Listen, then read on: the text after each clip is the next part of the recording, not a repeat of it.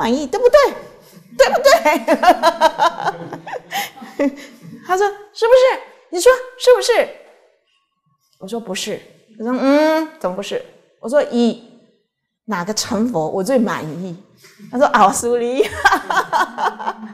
世间人就是会在这个数字上去统计，去作为一个标准来评估。你发片拿去垃圾桶，拿去什么摆着，真的都是惹灰尘，有什么用？收视收视率很高，哪个收视率最高？综艺节目或什么节目收视率最高？对不对？他有没有很满意？那个主持人很满意是他的事。啊，众生有没有很满意？还是不满意？下次有个新节目还是跑了。所以呢，这些呢，以无所得法利众生于无所得法。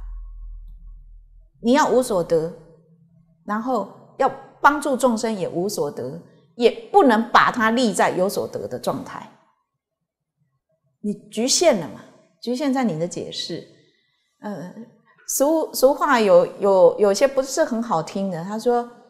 呃，狗改不了吃屎啊！什么在南京是牛，迁到北京还是牛？那都在指什么世间术？